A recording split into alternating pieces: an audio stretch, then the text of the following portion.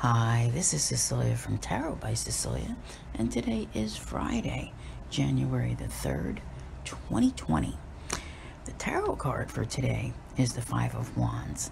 In this case, the Five of Beasts from the Wizard's Tarot. Now, I can hear you out there. I'm not going to name any names, but I can already see the comments.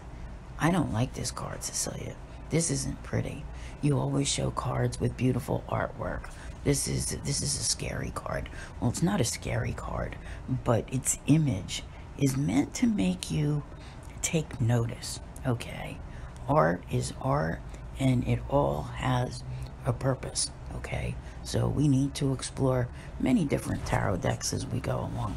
And what I want to talk about today at first is something that I don't normally discuss, and that is Mercury opposing the North Node, suggesting that, you know, there's something about the past, something about the past that you need to let go.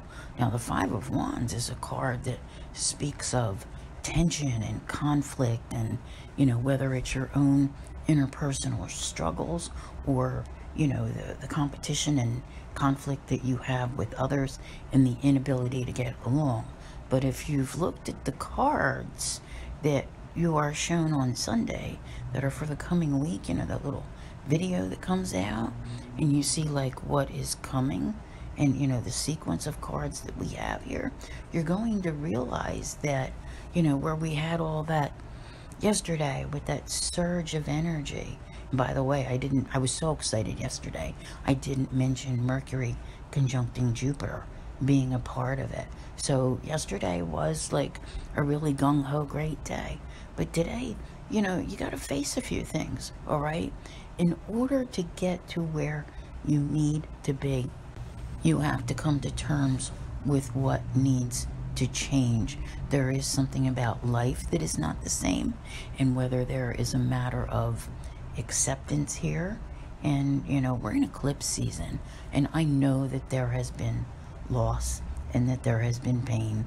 And people are struggling with you know getting over these things. And sometimes you actually can't but you do need to be able to function. You need to be able to release the painful parts and face that so that you can move forward. Even if it's the loss of a loved one i do not buy into that everything happens for a reason okay that's a bunch of crap. But your pain is real, your grief is real, whatever has happened in your life that needs to be faced here.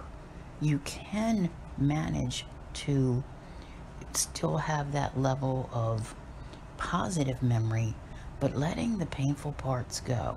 And it's not to say that you ever forget it, but you can't let it consume you. So, you know, you're in a, a spot here where you're getting ready to almost like find your path and your purpose or what 2020 means to you. And what is coming is for the long term, by the way.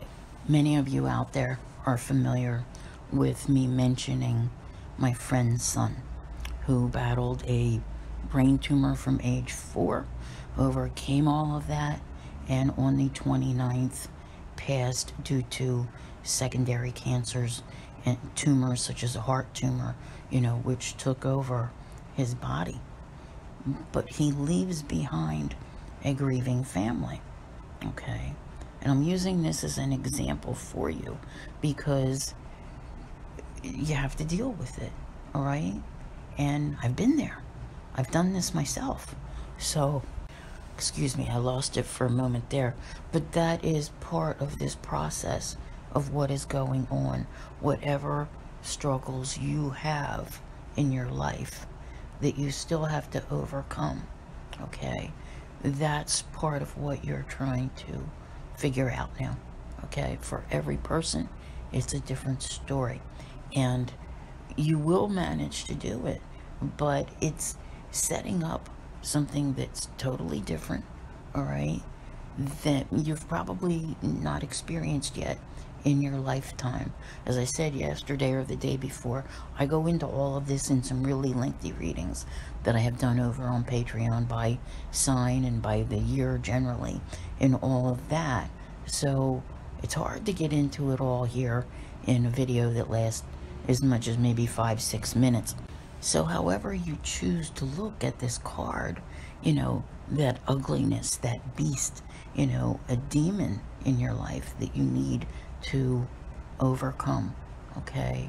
Because this is where you are. And you're going to see this process as it plays out over the course of the year. This is a very big year. And I love the fact that as you came out of the gate on January 1st, it's setting it up and telling you this year is totally, totally different. Okay. I also mentioned yesterday if you would like to hear about the full moon that's coming up on the 10th, which is an eclipse, by the way, in Cancer, you may go to your App Store and download the Podbean app and listen for free there because it's really a, a video that's only available to my Patreon members and my members only people. But I am putting it on Podbean. You can listen to it across any podcast platform. It will be available in two days on the 5th. So I want to thank you all very much for being here. I'll see you here again tomorrow. And as always, have a great day.